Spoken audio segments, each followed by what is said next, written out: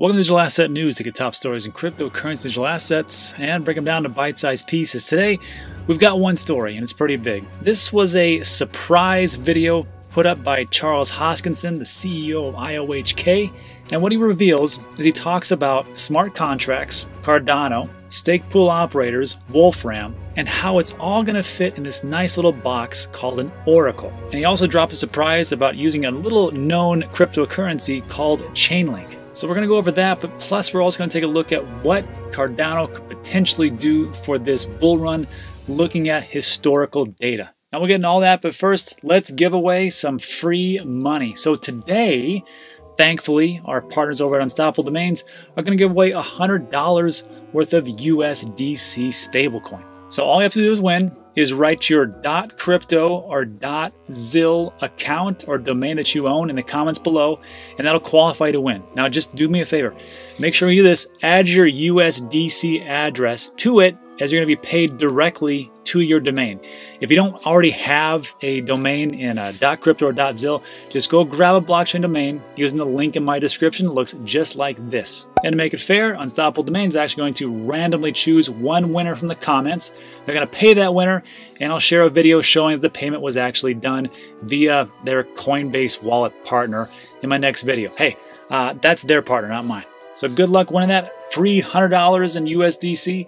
And let's jump into today's top story. So first up, this was just dropped a couple hours ago, and it's just one of those special pop-up videos that Charles Everett likes to throw in every so often. He does a lot of live streams, but this one was actually pre-recorded. And it was to me it was pretty big because there's a there's a thing about Cardano. First of all, Cardano, I think, is a sleeping giant. I think it's going to be very big in the future, and it really hasn't been around that long. I mean, if you look at the, the very earliest pricing report, it was in October 2017, and the mainnet was only launched on July 20, 2020. I mean, this year it was just launched the mainnet. So, what could potentially happen in the next bull run? We'll just stick around, I'll tell you. But first, we have to get into this. And this was a, like I said, it was a pretty great video and just went over a couple of key points. So it's about 15 minutes, but I'm going to break it down into four sections that really encompass what is really going on here. So just take a listen to this very first part. He's going to talk about the three partnerships that are coming and how is going to affect the Cardano network. And today, let's talk about three of them.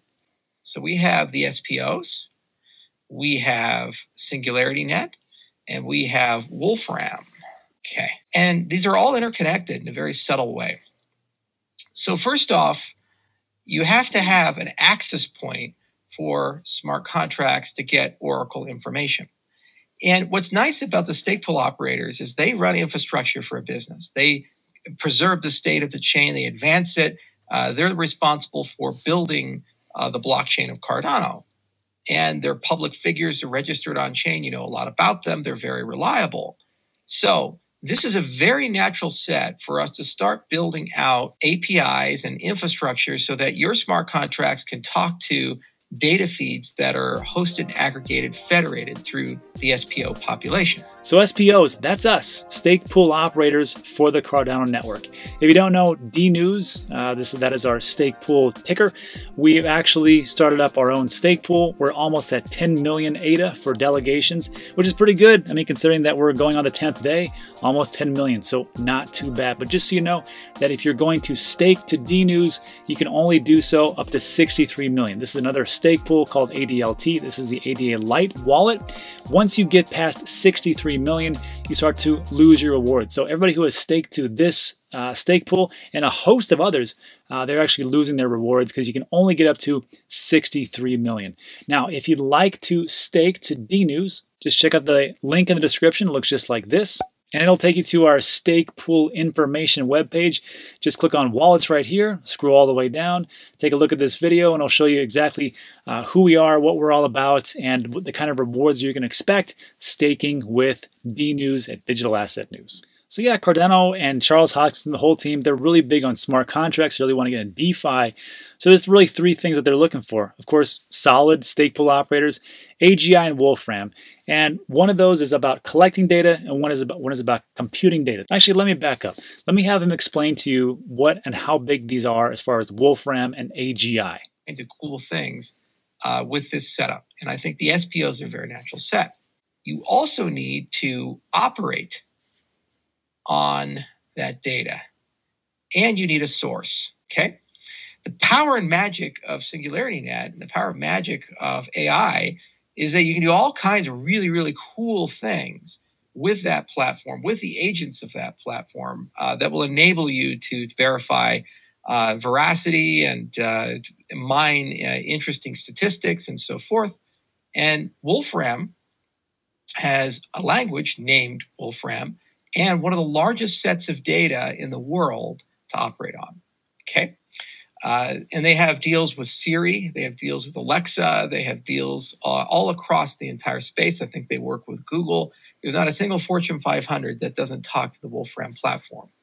And they have this amazing programming language which allows you to compute on the data. So these are the things that I like to hear. I like to hear about companies who are reaching out and making strategic partnerships to improve the business as a whole.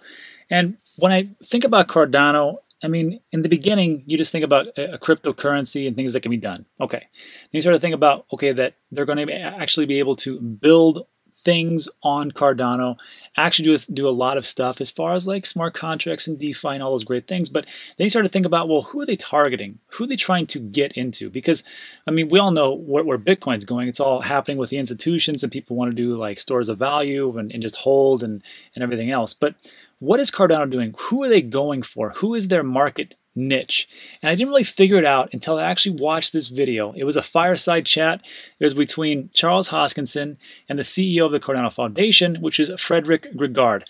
Frederik here is an ex-employee for PricewaterhouseCoopers, very smart guy. He's been entrenched in the Fortune 500 companies. And I was like, why did they hire this guy? And now I understand, and now I get it. And I will link this fireside chat in the description. What Cardano is doing is they are directly and actively going for to these Fortune 500 companies because they know that they're that the things they're trying to do can be greatly accelerated through the blockchain, through Cardano, and what they can bring to them. So there's already closed loops or you know centralized types of blockchain, such as IBM that are working with the 500 companies and they're trying to do their own little magic. But I do believe it's not going to work as vastly as superior as it could here as far as Cardano. Now, I uh, full disclosure, obviously, I do own ADA, I do own Cardano, so I'm going to be a little bit biased. But I've never seen very large corporations and entities be very nimble and try to really get into uh, these big companies or even small companies because they can't really pivot and move like a smaller company can. And that's where I think the power of Cardano comes in. And they're actually building a great team around them because all businesses really comes down to this. It doesn't matter how great your product is. It really comes down to the team that you assemble around you and how you get your message out as far as marketing. Bitcoin did a fantastic job, but it had a lot of great people around it, which allowed it to flourish. So when I start to start to see Cardano, IOHK, Emurgo, the Cardano Foundation themselves, and they're trying to like give these really great uh, people together as far as a team, I think this is going to do very well. And these are the types of things that I look for. So now that we know all about these these these three parts, the SPO, AGI, and Wolfram, right? Wolfram is huge. You've seen it everywhere, and just like what Charles talked about, it's integrated into some of the biggest companies in the, around the world. So now we're going to talk about the actual info as far as like how Chainlink and Oracles come into play. That doesn't have to be a central database. That can be the SPOs. That can be a trusted server. That can be a federation of actors. That can be Chainlink there are many different sources. So this is kind of the first stage in the great Oracle pipeline is determining a source. And then you basically from that will have an opinion about the veracity of the information, how true it is, how reliable it is. You'll have an opinion about is this going to be available 24 7 when I need it, where I need it. Also, is there everything there or do I have to stitch it together? Okay. The access control, there's a very natural regulating mechanism for that the SPOs. And then you need bespoke capabilities to compute on that data so you can get it into a format, that data, uh, into a format your smart contracts can understand and operate on and be able to uh, find useful. So, what does this all mean? Where is this all going? What is the great reveal? I'll let Charles just talk about it right now. And it's all about choices and partnerships. Is we're building capabilities and partnerships. Uh, so, we're going to build some infrastructure for the SPOs. And basically, this is the Oracle Access Layer. Okay. And that will make it very easy for the SPOs to provide interfaces for smart contracts to operate on. We'll make sure that that Oracle Access Layer is able to take queries that are written with AGI, uh, so SingularityNet, and take queries that are written with the Wolfram programming language. And if you are querying from Wolfram, and then using this on the other side, it can plug into different data sources. The very first data source is going to be the Wolfram data source because that's enormously complete. Uh, you, for example, can ask questions like how many shipwrecks have happened uh, around the coast of Florida from 1950 to 2000 uh, that lost more than $100 million worth of cargo in the months of August to September, and draw a map of it showing the frequency by uh, a picture. And it actually be able to return a query. It's absolutely extraordinary what Wolfram has. But then we believe in choice, so you should be able to use other sources as well with this generic framework. So, so anyway. when people talk about Cardano and they say it is a third generation blockchain, I'm starting to understand exactly how big this could potentially be. If you think about any project that's out there right now, how many of those projects could Cardano squeeze into, fit into, and become that project and maybe do it as good, if not maybe a little bit better? There's a lot of things it can do, and there's a lot of they're very meticulous in what they're trying to do, and they're really trying to be a huge entity. Now, can they do it? That is the big question. But I think just as far as a speculator, as an outsider looking in who may not know a ton of things about cryptocurrency, uh, I would probably want to invest into this project. And that gets me to my next point. Cardano currently is number eight on the top 100 of all cryptocurrency digital assets out there. Chainlink is sitting in at around a solid seven. Actually, they're pretty close, both of them. But do you see how they can, of course, we talked about as far as working together. But if I'm an investor I'm starting to look at okay, who is building a lot of partnerships? Who has a great team behind it? Who has the funding? Who has some type of vision about where they want to go and what they want to do? Well, in a lot of these top 50, we'll say, there's a good amount. But if I'm going to take a look at something like, hmm, who here has already done something like that? Well, Charles was part of the Ethereum mafia, one of the ones that actually brought Ethereum to, to actually fruition and uh, made it a viable product. Now, there's a lot of people that was involved in that, but Charles was one of those people. Him, Vitalik, Gavin Wood. And what did Dr. Wood do? Oh, yeah, he made Polkadot right here in number nine. So, do you see how things are kind of coming all together? So, let me backtrack right here. You know why I'm so engrossed with the teams and talking about where people have actually come from. This little thing called Ethereum Mafia, uh, I actually created this because I stole it straight from the PayPal Mafia. I found this nice little image, nice little graphic, I pretty much just uh, made it into my own for the Ethereum Mafia. But the thing that really stands out with the PayPal Mafia and the whole thing of how it was was uh, was put together is because these guys right here, uh, maybe you've heard of some of these companies, YouTube and Yelp and LinkedIn and Tesla and Square and Sequoia Block Factory and, and Peter Thiel and all the things that he's done. Do you see all these people how they all started off in one central core type of business. It became a multi-billion dollar, you know, darling, and they kind of just branched off and did another great multi-billion dollar company. It's because success breeds success. I'm sorry to say it, but that is exactly the truth. So when I started to talk about, you know, different people who come from the Ethereum mafia, I bet on these people because they've already done something great, and I think they can actually do it again just like the PayPal mafia did. Now, and also on top of that, you see this guy right here named Steve Chen. Well, this is the reason why I'm so big on Theta because he is part of this Theta token. Also, on top of that, you see this guy named Peter Thiel, multi-billionaire. This is why I talk a lot about layer one and what they're doing with Bitcoin mining. Again, teams and people you put around you will make or break you as a company, and that's why I believe in these types of people. So as an investor, I have some questions. And the questions are, well, what was its all-time high? Where where is it now? What is the market cap? What is the circulating supply and what is the max supply. So first of all, I just want to take a quick look at, you know, first of all, when, when, did this all start? Well, like I said, it didn't start until October 2017. Okay, that was when the first, very first price could be found. It was two cents. And then in October 2017, all the way to that huge run up, we hit a high of around $1.18. That's pretty good amount, right? But that was nothing. They didn't even have a main net. The main net didn't come until four months ago. So back then, when there was nothing, it hit $1.18. So how much could it hit at this point? Well, let's take a look at the actual circulating supply and max supply. So the max supply, and here's one of the, one of the downfalls, potentially. 45 billion. That's a lot. That's a lot. But I think for what they're trying to do, they need a lot of ADA or ADA. You've got 31 million, which is circulating right now. The rest of it is pretty much locked up and it's uh, there for developers and whatnot. So sure, we have that, that data. And the market cap itself right now is only 5 billion.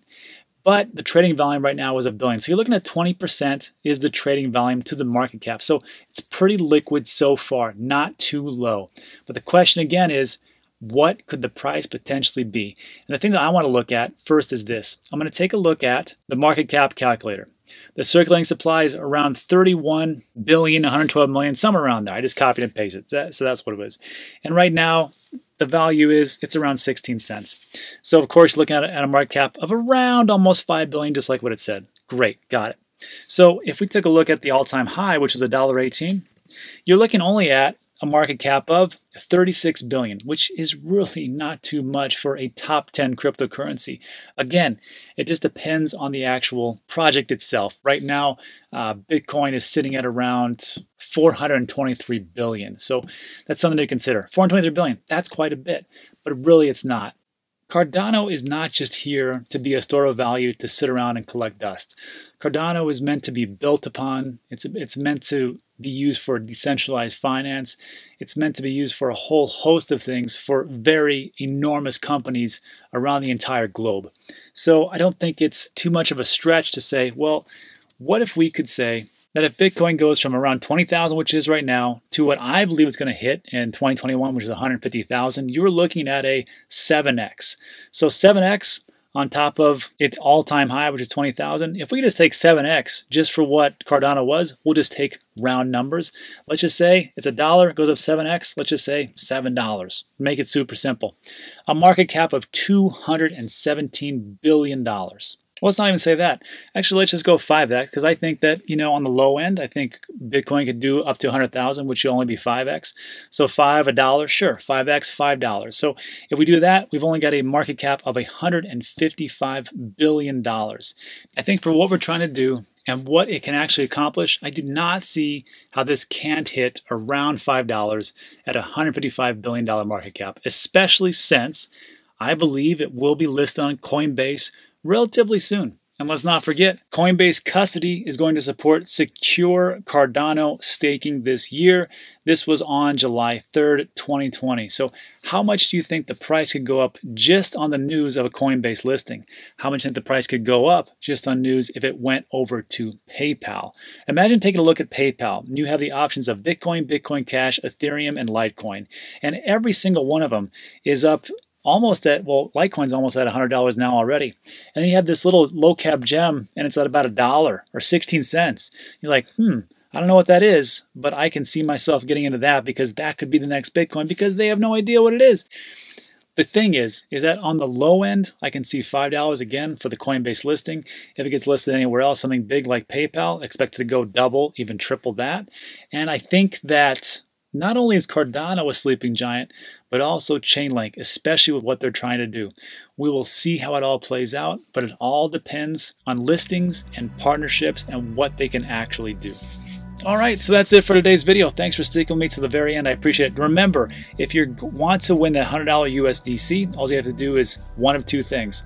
First, put your domain, the .crypto or .zil, in the comments below. Also, add in your USDC public address, not your private address, public. If someone wants to send you some USDC, go let them go right ahead. That's all. That's uh, no problem. All right. So thanks for sticking with me. I appreciate it, and uh, I will see you